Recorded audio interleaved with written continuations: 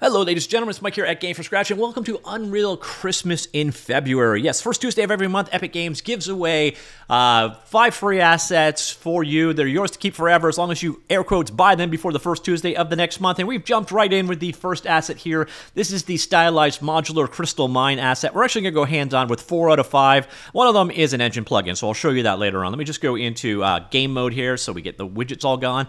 This one is pretty straightforward. It's a stylized environment. Um, for crystal mines. It looks a bit like World of Warcraft style. Uh, everything you see here. The cool thing here is these, like these rails right here, there's actually controlled by a blueprint, or generation can be controlled by a blueprint. Also on top of that, uh, there's a few other things that like chains that are blueprint driven as well. Uh, the mine, you see all the various different things go here. You've got the tracks, you've got the carts, barrels, the various different crystals, and then we get into the larger part of the mine over here, and we have a large open vista area. And this actually kind of reminds me, I think it's Dark Souls 2. Uh, Seth or Seath, the scaleless, kind of reminds me of his level a little bit, just in that World of Warcraft style. But that, ladies and gentlemen, is the first asset. Pretty straightforward. Let's go take a look at the overview of it, get an idea of the assets that you're getting in this pack.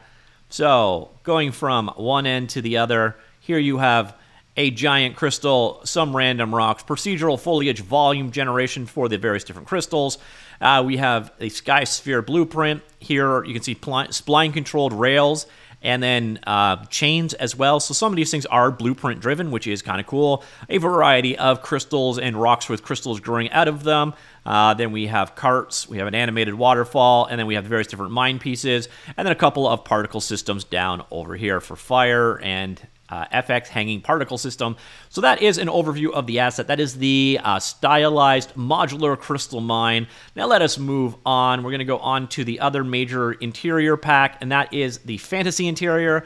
Um, so this one is semi-stylized, semi-realistic. Just all right, go away. There it is. All right. So one thing you want to point out for both of these, though, uh, I'm using Unreal Engine 5. Whoa, my scroll is very fast. I'm using Unreal Engine 5.3, and the default was so incredibly bloomed out. So what you're going to want to do uh, to get it, so you can see some of it still right here.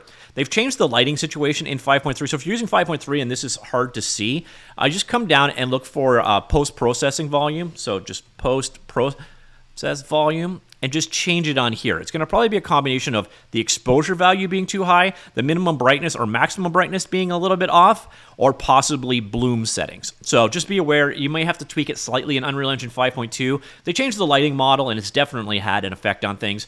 But yeah, this is the fantasy interior environment. Everything you see here to create I don't know, looks like a pretty typical British kitchen. uh, so, yeah, all, all kinds of things. Got a chest. This is an interior only, by the way.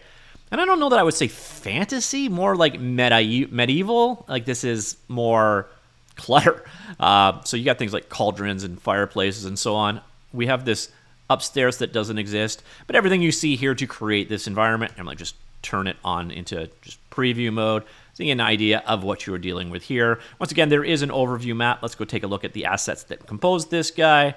All right, here, so we got tables, we got various different cloths and so on. The um, the shelves, the, the chests, fireplace, hearth, and got some nice animations around the charcoals there, and then a bunch of things. So even if you're not creating in a medieval style game, it might be an asset you need here, especially if you need exceptionally large forks, spoons, or ladles. Uh, they got you covered here. So that is the contents of this particular bundle. Nothing extraordinary, but nice quality work nonetheless. Somewhere in between that stylized and real. I don't know. Would you call this realistic or would you call this stylized? I'm not really sure. Some of it definitely looks realistic, but some of the saturation looks a little stylized. So that is the uh, second thing there. The third one has a bit of a strange name. It is called the building system. And let me just go ahead and, oops, oh, need to open the map. All right, so this is a way of controlling uh, objects in the scene. Uh, so let me, all right, how do I get this dock to just automatically go away? That's very annoying. So you see here, you got some actors you can play with. So um, you can have things snap to each other, snap to the wall, rotate around, and so on. Let me just go ahead and play this, and I'll show you exactly what I mean. So over here, we have uh, an actor. The instructions are over there, by the way. So E, I can interact with that object, and then we started moving around. So if you need to place things in the world, so you got things like rotation here, or rotation. Oh, I guess it's because I'm holding down. E interact and rotate right. Okay, well, it's not doing so. Uh, and then I can snap things back to their original position here. Then we have another object here that you can have snapping points to other snapping points. So this one, the opacity spheres, indicate snappable points. And these are some snappable objects. So what I'm going to do is hit E, grab one of these objects, and then what I can do is you see as I mouse over, it automatically snaps to that point. And then I could, I could, uh, I think it's left click to commit, like so. So I could grab this other object in here and bring it back, and we can place it like so. Then we have this other guy right here. This guy has got snapping to the wall. So as I see, doesn't do anything. Red, red, red won't work. Other object will work, but here, snap to the wall.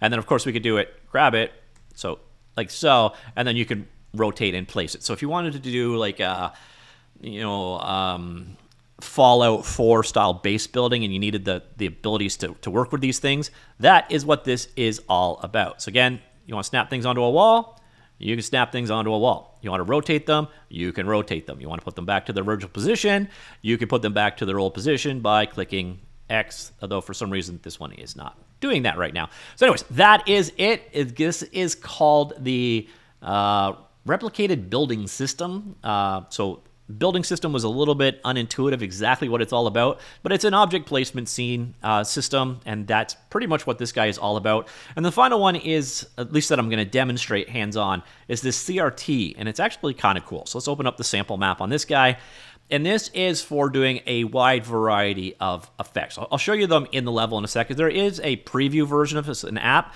but it's also got this example of what it does doing over the, the view itself so like the static and so on that makes it kind of annoying to look at. So this does give you an idea of the kind of effect that you can create with this guy. So if you want to recreate the vhs uh, you know 1980s early 90s kind of uh, granularity you can do so here but you can see some direct examples over here. Uh, so for example here we've got a 320 by 224 with art of fighting so you got that crt like effect going. This is what it's capable of doing that here you can see Prince of Persia 2 effect. Here you can see uh, Heroes of Might and Magic, the original one, the effect.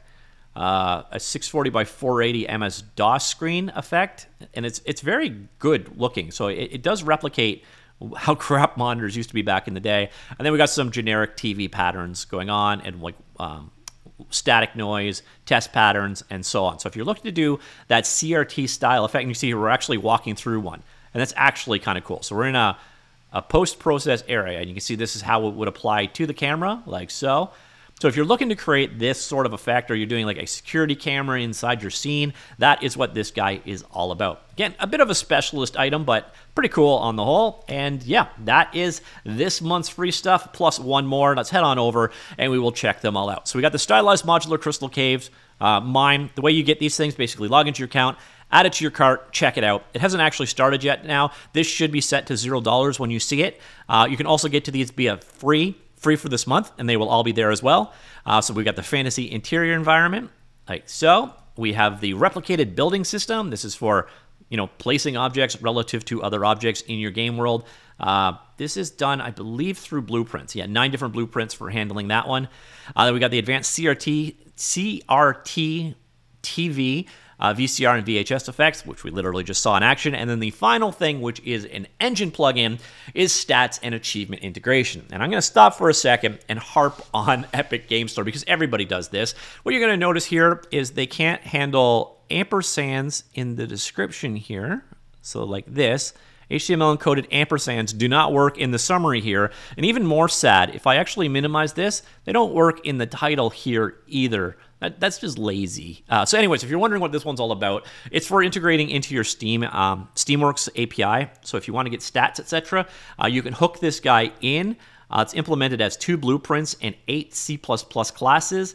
Um, it's safe to use on a client, unlike Web API. The plugin will uh, not function properly without correct setup, uh, but basically features include downloading user stats and achievement data from Steam servers, uploading user stats and achievement data um, I'm assuming to the Steam servers, uh, displaying achievement and unlock progress, and much, much more. So if you want to work with uh, Steamworks, that's basically what this provides an idea of the kind of stuff it's capable of and the blueprints for actually controlling it if you wish to, to use it and drive it with blueprints. So if you're trying to integrate with Steam API, that's what stats and achievement integration is all about. And that is this month's free stuff. So stats and achievement integration, stylized modular crystal mine, fantasy interior environment, the replicating system, and the advanced CRT, TV, VCR, VHS effects. What do you think of this month's free stuff? Once again, same question as always. Even if you aren't using Unreal Engine stuff. Are, you hoarding these? I really hope you're hoarding these. So if you ever decide to change your mind later on, you can. Also, there are ways to get these out of Unreal Engine and other, into other game engines.